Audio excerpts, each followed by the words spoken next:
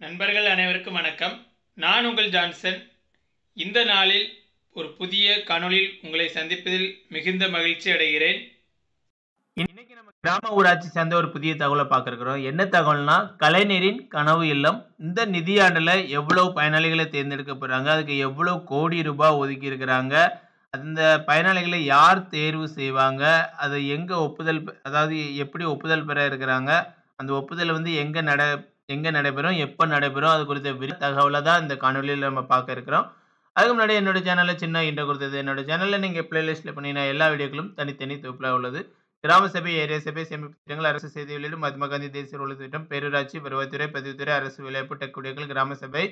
இப்படி பல்வேறு தொகுப்புகளா அறநூறுக்கு மேற்பட்ட காணொளி உள்ளது. டைம் கிடைக்கும் போது பிடிச்சிருந்தா லைக் பண்ணுங்கள் கமெண்ட் பண்ணுங்கள் பயனுள்ள இருந்தா மற்றவங்களுக்கு ஷேர் பண்ணுங்கள் தொடர்ந்து என்னோட வீடியோக்கள் உங்களுக்கு ஒன்றா மறக்காமல் சப்ஸ்கிரைப் பண்ணி பெல் பட்டனை ஆல் கிளிக் பண்ணிடுங்க. வாங்க வீடியோ கண்டனங்களை போகலாம். கனவு இல்லம் திட்ட பயனாளிகளை தேர்வு செய்து கிராம சபையில் ஒப்புதல் பெற உத்தரவு அப்படிங்கிற தலைப்பில் ஒரு நோட்டிஃபிகேஷனை அதாவது செய்தி வெளியிட அரசு வெளியிட்டிருக்காங்க. கலைஞரின் கனவு இல்லம் திட்டத்திற்கான பயனாளிகளை கிராம சபை கூட்டம் வழியே தேர்வு செய்ய தமிழக அரசு உத்தரவிடப்பட்டுள்ளது. தமிழகத்தில் கிராம பகுதிகளில் எட்டு லட்சம் குடிசை வீடுகளில் மக்கள் வாழ்ந்து வருவது கண்டறிய தமிழ்நாடு என்ற இலக்கேட்ட ரெண்டாயிரத்தி முப்பதாம் ஆண்டுக்குள் கிராம பகுதிகளில் எட்டு லட்சம் காங்கிரீட் வீடுகள் கட்டித்தரப்படும். முதல் கட்டமாக ரெண்டாயிரத்தி இருபத்தி நாலு டு ரெண்டாயிரத்தி இருபத்தி ஐந்தாம் ஆண்டில் ஒரு லட்சம் புதிய வீடுகள் ஒவ்வொன்றும் மூணு புள்ளி ஐந்து லட்சம் ரூபாய் செலவில் உருவாக்கப்படும். இப்புதிய திட்டம் கலைஞரின் கனவு இல்லம் என்ற பெயரில் வரும் நிதியாண்டில் மூவாயிரத்தி ஐநூறு கோடி ரூபாய் செலவில் செயல்படுத்தப்படும் என ரெண்டாயிரத்தி இருபத்தி நாலு இருபத்தி ஐந்து ஆண்டுக்கான பட்ஜெட்டில் அறிவிக்கப்பட்டது. இத்திட்டத்தை தேசிய ஊரக வேலை உறுதி திட்டம் தூய்மை பாரத திட்டம் ஆகியவற்றின் கீழ் செயல்படுத்தவும் நடப்பு நிதியாண்டில் ஒரு லட்சம் புதிய வீடுகளை மூவாயிரத்தி நூறு கோடி ரூபாயில் கட்டவும் தமிழக அரசு நிர்வாக அனுமதி வழங்கி அரசாணை வெளியிட்டுள்ளது. இத்திட்டத்தின் வழிகாட்டுதல் நெறிமுறைகளின்படி குடிசை வீட்டில் வசிப்போர் இத்திட்டத்தில் பயன்பெறலாம். குடிசை வீடு உள்ள திட்டத்திற்கு பட்டா மற்றும் உரிய ஆவணங்கள் இருக்க வேண்டும். புறம்போக்கு நிலங்களில் குடி பயன்பெற முடியாது. ஓய்வு பெற்ற அரசு ஊழியர் எம்பி எம்எல்ஏ அல்லது அவர்கள் மனைவி கணவர் ஆகியோருக்கு சொந்தமான குடிசையாக இருந்தால் இத்திட்டத்தில் பயன்பெற முடியாது. கிராமங்களில் பயனாளிகளை தேர்வு செய்ய ஊராட்சி தலைவர் வட்டார பொறியாளர் மண்டல துணை வட்டார வளர்ச்சி அலுவலர் வார்டு உறுப்பினர் மேற்பார்வையாளர் ஆகியோர் அடங்கிய குழு அமைக்கப்பட்டுள்ளது. இக்குழு தகுதியானவர்கள் பட்டியலை தேர்வு செய்யும். இப்பட்டியலை அடுத்த மாதம் நடக்கவுள்ள கிராம சபை கூட்டத்தில் பொதுமக்கள் முன்னிலையில் வைத்து ஒப்புதல் பெற வேண்டும் என தமிழக அரசு உத்தரவிட்டுள்ளது உத்தரவிட்டுள்ளது.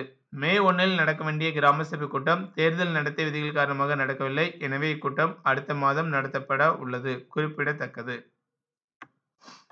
இதுல நம்ம பார்க்கக்கூடிய தகவல் என்னன்னா ஒரு லட்சம் பயனாளிகளை இந்த நிதியாண்டுல தேர்வு செய்கிறாங்க ஸோ நீங்கள் இப்போ உடனடியாக உங்களுடைய ஊராட்சி தலைவரை அணுங்கள் யாரெல்லாம் குடிசை வீட்டில் இருக்கீங்களோ இல்லை ஓட்டு வீடு ரொம்ப டேமேஜான வீடு அப்படி இருக்கீங்களோ அவங்க எல்லாருமே உங்களுடைய ஊராட்சி தலைவரை அணுகி இந்த திட்டத்தின் கீழே உங்களுடைய பெயரை பயனாளிகளாக சேர்க்க கோரி நீங்கள் தெரியப்படுத்துங்கள்.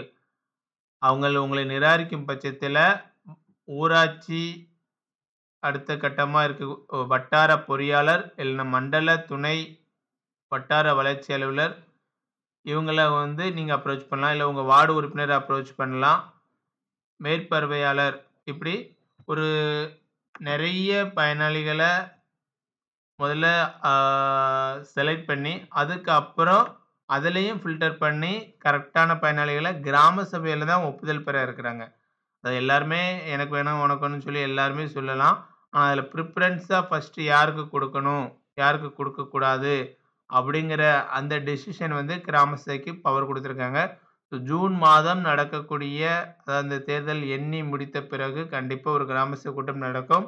அதில் இவ்வளோ நாள் நடைபெற்ற பல்வேறு திட்டங்களுக்கான ஒப்புதல் இனி நடக்கக்கூடிய திட்டங்களுக்கான ஒப்புதல் அந்த விவரங்கள்லாம் நடக்கும். அந்த தேதி கிடைக்கும் பட்சத்தில் அதுக்கான தகவல் கிடைக்கும் பட்சத்தில் கண்டிப்பாக நம்முடைய சேனலில் காணொளி வெளியிடப்படும். ஸோ இப்போவே உங்களுடைய இந்த நான் சொன்ன அலுவலர்களை நீங்கள் அப்ரோச் பண்ணி உங்களுக்கு உண்மையிலே வீடு வேணும்னா அந்த டாக்குமெண்ட்லாம் ரெடி பண்ணுங்கள் பட்டா அப்புறம் உங்கள் லேண்டுக்கான பத்திரங்கள் வில்லங்கள் சான்றிதழ் அந்த இடத்துல எந்த பிரச்சனையும் இல்லைங்கிறத நீங்கள் உறுதி செய்துவிட்டு நீங்கள் விண்ணப்பித்தால் கண்டிப்பாக உங்களுக்கு கிடைக்க அதிக வாய்ப்பு உள்ளது. ஒருவேளை எந்த நிதியாண்டில் கிடைக்கலனா கூட நீங்கள் முன்னக்கூட்டியே இப்போ கொடுத்து கொடுத்து வைத்திருப்பீர்களானால் அடுத்த நிதியாண்டில் முன்னுரிமை அடிப்படையில் உங்களுக்கு கிடைக்க வாய்ப்பு இருக்கும்.